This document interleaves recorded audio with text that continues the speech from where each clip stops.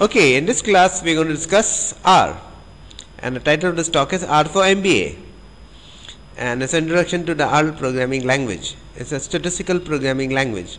It's a short introduction, it will just get you started with knowing what R is, how it came about and how to use it. And there's a lot more to R that you'll need to learn later on. So let's get started. So R is was, in, was in, created by Ross Ihaka and Robert Gentleman in 1993 in the University of Auckland in New Zealand. And it's a programming language in which you write your commands and run. And before there was a language called S from Bell Labs in 1976. So R is a free version. S was probably not free. So let's get started. So you just how do you look for because R is a single letter it's hard to Google for it. So you just say R stats for statistics, Windows for because if you're installing on Windows and download. You find R and also look for R Studio. It's just a nice UI. Then you install R and R Studio, download it, install it. Then once you install it, you'll get these icons. The version number may be different and the icons may look different on your Windows. And then when you click double click on it, it will open up the R window or the R Studio window. So let's look at the windows in detail. So we'll be mostly using RStudio, which is basically nice arrangement of windows. So RStudio consists of four panels, and in the first, this is the RStudio uh, window, in which consists of file viewer, where you type in your edit files, and then in the next window next to it is the variables and values. These are variables and values. Below it is a console, the command prompt, and here is where you type in your commands, and the R interpreter will return the output and this is where you'll type most of your commands. Almost all your commands. And if you have any graphs it will show up on the panel next to it. And this panel has sub panels out here. You can say file packages help viewer. And out here also the other sub panel like history. But these are the main panels will be working. So how do you start working in R? Usually it has some data to analyze. It will either be in excel format or mysql or some format. You load the data into R you'll analyze the data, visualize the data into graphs and come to some conclusion and use the graphs and the conclusions in your papers or in your presentations. That's how R is used normally. And another use of R would be automating your data analysis.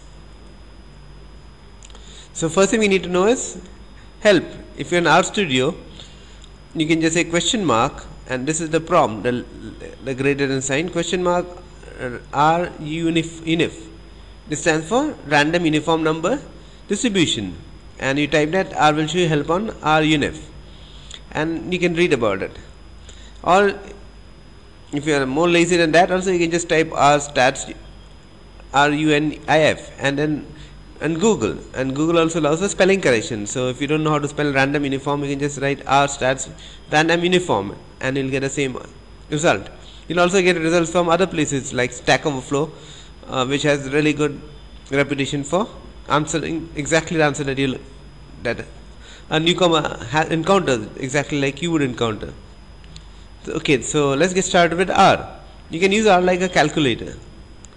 You say 1 plus 2 plus 100, you get 103. So this this square bracket 1 is just a this is a way of telling R that it's a vector of size 1 then you can assign variables values to variables. So you're saying x and this arrow left arrow is actually two characters less than and minus uh, 2 by 3 assigned to x. So you get x equal to 0.6667 so there's some some digits of precision is there.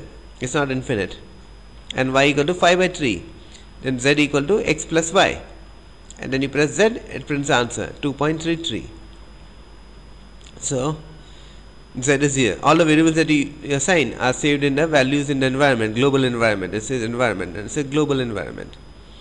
And your history is also there all the things you typed in. And you can also look at other stuff around. We'll look at later. Then you can plot the values. C stands for a column vector. So x y z are two are three values that you in a column you make it into a vector and give it a plot.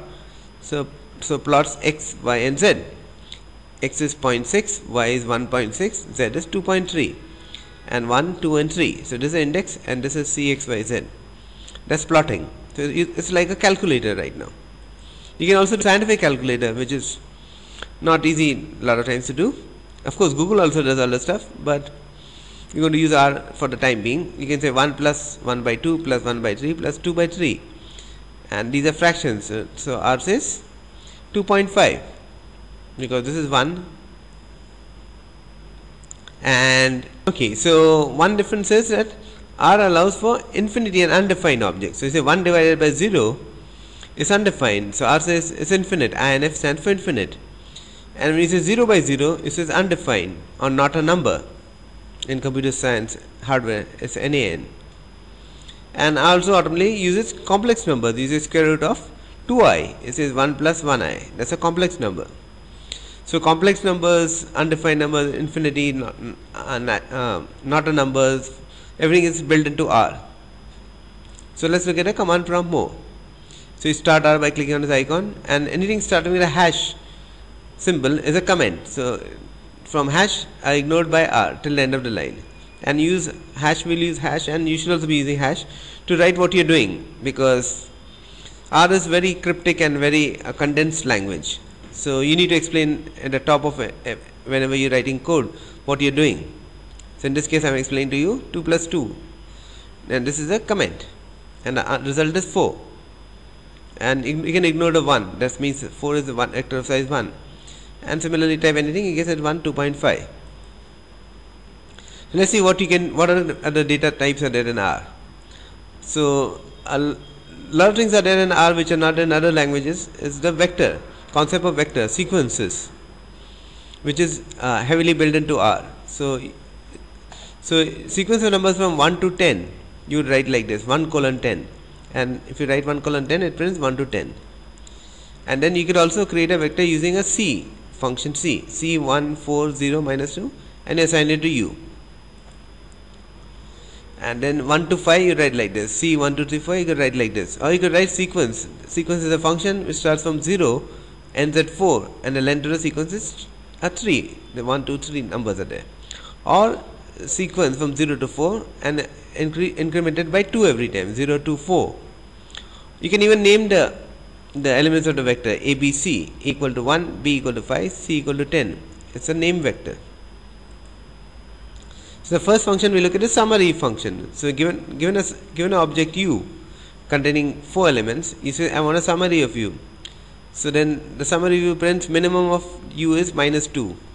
First quartile is minus 0.5, median is 0.5, mean is 0.75, third quartile is 1.75 and maximum is 4 this is the maximum. So summary basically tells you whatever input you give it in summary of that. So look at the quantiles. So again quantiles of u are 0 25 50 percent 75 100 percent. So it tells you what are the numbers that are quantiles minus 2 to 4 and you could instead of if you don't like these percentages you can give your own percentage 0 0.33 0.66 and 1 and it gives you different set of numbers quantiles and then you can plot it also so 1 is here, 4 is here, and then 0 is here, and minus 2 is there. 1, 2, 3, and 4. And u is on the y axis. So, and R has a lot of ways of plotting data. And we'll look at all the ways as we go along, and you'll find hundreds of ways on when you search on Google of, of uh, representing your data visually, and you'll choose one which is uh, shows you clearly how the data distributions look very clearly. So box plot is one way of showing. So you have this u vector and you want to show it say box plot u. So I will draw this thing. It, the, the minimum is here, the maximum is here and these are called the outliers and inside the pink box are the quantile 1 to quantile 3 and the median is a dark line. So median is 0.5 out here and then summary of you tells you where this q1 and q3 are. Now the common thing you see is a histogram histogram of u it shows you uh, the data of how many how many are between it shows you uh, at minus 2 to 0 there are two elements then at 2 there is one element between 0 and 2 and one element at 4 so it shows a histogram in this case it's not clear but look at a better example when you have larger data it becomes clearer then we have many functions like mean. You have a vector, you can find a mean, standard deviation, maximum, minimum, median, variance, sum, length. The sum of u is 3, length of u is 4. standard deviation is 2.5 max is 4 min is minus 2 median is 0.5 and variance is 6.25 and mean is 0.75 we already saw NA and not available so NA is not available. It's different from not a number. So let's look at example. You take string of log of a vector and NA means not available. So what happens in Excel is and other packages in programming when something is not available you just make it 0 or some minus 1 or something and then when you do compute statistics all your data goes wrong. It's like doing an election analysis or voter analysis and all the people who didn't actually respond you just put as the default vote and then whole data is skewed. So in R is different in the sense that R actually tracks people who didn't respond as NA that means not available. And so whenever you take average or median NAs are not considered. So it's careful in using the means and averages. Suppose you take a sample of salary of like a thousand people and only two people respond and you get an average of thousand. That would be wrong unless you also tell the people that the sample size was only two people actually responded. So in this case we have this. So when you take log of minus 1 is not a number. Log of 0 is minus infinity. Log of 1 is 0 log of 2 is 0.693 this is log base 2 and na is na so na basically passes through functions as na and R will tell you warning that NA not a numbers produce and you can check is finite or not. So you ask is finite? This is a function. Dots are part of the function. It doesn't really matter if you use dot or not. Uh, so this is a function with a dot name in the name. It says you give it this vector it tells you. False means it's not it's finite. Log of minus 1 is not finite. Only these two are finite and then dealing with missing values is a big part of R which is not in Excel. In Excel really hard time dealing with missing values. So if you have a missing value in a vector NA, try to take a mean it says not available. So what you need to do is tell the mean function that na dot rm equal to true. That means remove all the nas then it gives you the mean. That means removing this thing and then you can find nas in x by saying is na x? It tells you out here. There is a na at this point and major part of R is also having all these random fancy random numbers built into it. So let's look at some random numbers you could generate. You can say make three uniformly distributed random numbers. Random unif three. It gives you three random numbers, so three digits. And if you want it between uh, 5 and 10, you say between 5 and 10, 3. So it gives you three random numbers between 5 and 10. And then if you wanted uh, to generate random numbers in a range with one decimal you can just say round add the function round digits equal to 1 you get three random numbers. And then what you could do is to save it in a variable y. And then you can see what's in y. And then you can uh, let's look at histogram with a larger set. You generate 100 ra uniform random numbers and save it in x and plot x as a histogram. So this is a frequency plot of x. Now let's look at uh, normally distributed random numbers. Normal, so almost every every distribution in, in real life is uh, in physics would be normally distributed. We'll cover what normal means later on, but let's look at an example. So it says random normal 100 and then I want a histogram and a color equal to light blue. So 100 normal distributed random numbers and then it shows you the, the histogram of 100 numbers and the mean is around 0 and the standard deviation is between 2 and minus 2. So what you see out here is uh, that call equal to light blue this is a string you're passing to it and this is a name parameter because in R lot of functions have like really lots of parameters and you don't want to specify all the parameters to, to specify the ones that you're really interested in. You just have names for it. And in the beginning you get a default variables and then you get a name variables Let's look at another example. To roll a dice 10 times, how would you do it? You just say sample. Sample is a function which takes a vector 1 to 6 and I want to do it once, throw it once, you get one sample. And if you want to throw it 10 times, you just say sample 1 to 6 10 times. What happens whenever sample, sample doesn't really replace a number. So you tell sample to replace, after it takes out a number, put it back in the set of 1 to 6. So you get a sample so that the number can repeat otherwise it, will just sample new things. If you say sample 166 you get a permutation of 1 to 6 and how do you toss a coin? You just create a vector of two strings head and tails and 10 times and replace equal to true. So true and t are actually synonymous for in r. And but not this t. This t is a string t for tail and head. So you get a bunch of 10 heads and tails. And how do you sample? 4 students from a class of 54 students you say sample from 1 to 54 and 4 and you want to re replace it. That means I don't want to sample the same guy twice or same person. So I get 27 5 10 29 so 4 people with no repetitions. Then what are the other things you can do in R? So let's look at an example of plotting. So you say x is a uh, a plot of uh, random normal number 100 random normal numbers. And y is also x plus some normal numbers. So x and y are clearly correlated and then you want to plot x against y. So you say plot x tilde y and then you get a plot like this. So this is called a scatter plot because they're points. X and y are vectors. And then you can add a regression line abline. And you say linear uh, regression on y x and color is red. So you get this line. And then you can share your data with excel because a lot of times what people do is they, they, they have the data in excel they export it into r to process by r and get it back into excel.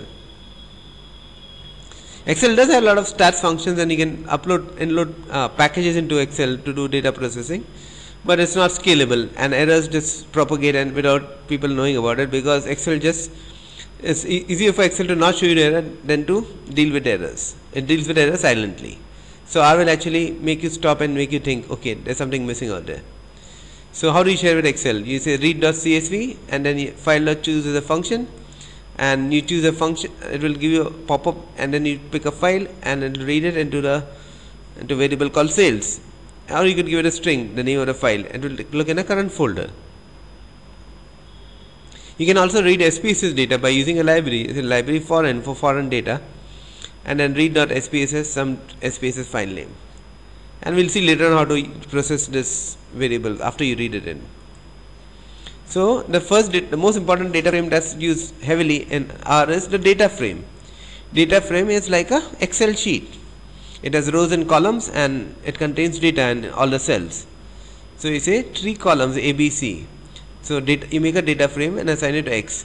Column A column B and column C. Column A contains 1 2 3 column B contains 5 6 7 column C contains 11 12 13 then you print X you get this data frame. And to address only one column out of the whole Excel sheet of this data frame you say X data frame dollar a. So you'll get this 1 2 3 and you could also address it as x double square bracket string a and close double square bracket. That gives it a column a. And you can delete a column of a data frame by just assigning null to it. So you can delete c. You can add a column by just saying x dollar d you get another column. So you get a b d now with different data. And then there are many functions to combine X, uh, sheets data frames. So you have y which is 31 to 33 another thing. And you can c bind column bind x and y. So x is here and y is here and became a bigger bigger data frame. And then in a data frame the first thing you want to do is give a data frame with 1 x is 1 2 not available 4 x. And then you make a data frame out of it with y is the reverse of x. So this is y with reverse of x. But then this na is suppose na is a, you want to remove them. You just say na dot omit in data frame d and you get this row and the last row. And these two the red ones got removed. And then the another common data structure used in R is the matrix. So matrix you give a bunch of values and you say number of rows or number of columns. So you're saying number of rows is 2 so it will say and it's doing column major. So 1 2 3 4 and these are the column names and these are the row names and there are lots of functions. For example determinant of a m would be 1 into 4 minus 2 into 3 which is minus 2 and next thing you can do is create your own functions. And we're going to look at later lectures a lot of details but this is just giving you idea of what all R can do. So we're going to create a function called gamble. So you create a gamble is a function equal to function or assign gamble is a object which is assigned a function and the function is takes a variable n as a parameter and it samples 1 to 6 n times and replace equal to true. Then after you define it immediately you can call it. There's no need to no need to compile it. You say gamble 4 and then n equal to 4 so it becomes it returns you 4 values. And then you can plot it also. You say histogram gamble 100 color equal to pink. So you get this plot of histogram of gamble. And then because uh, there's a lot of packages in R it also comes with a lot of data. So let's look at some of the data so you can play around immediately. You don't need to actually have data collect your own data. So let, us look at some built-in examples. Now how to do it? You say example plot and you see all the different plots. Example box plot example histogram. You'll see different ways of doing it. And if you like something you can stop and actually copy paste and use it in your own code and there's a lot of data also. So typically if you look on google you'll find all these data being used to show different uh, properties or features of r. So this so there's a library called a car and the built-in data. It has a, every library has own built-in data sets. So you see scatter plot matrix and then these are the parameters in the scatter plot data set. Miles per gallon displacement DRAT, weight, cylinders and data as mtcars. This is the mtcars the data set. And then it will plot this stuff showing you that the relation between miles per gallon versus displacement in the and these are the data about the cars engines.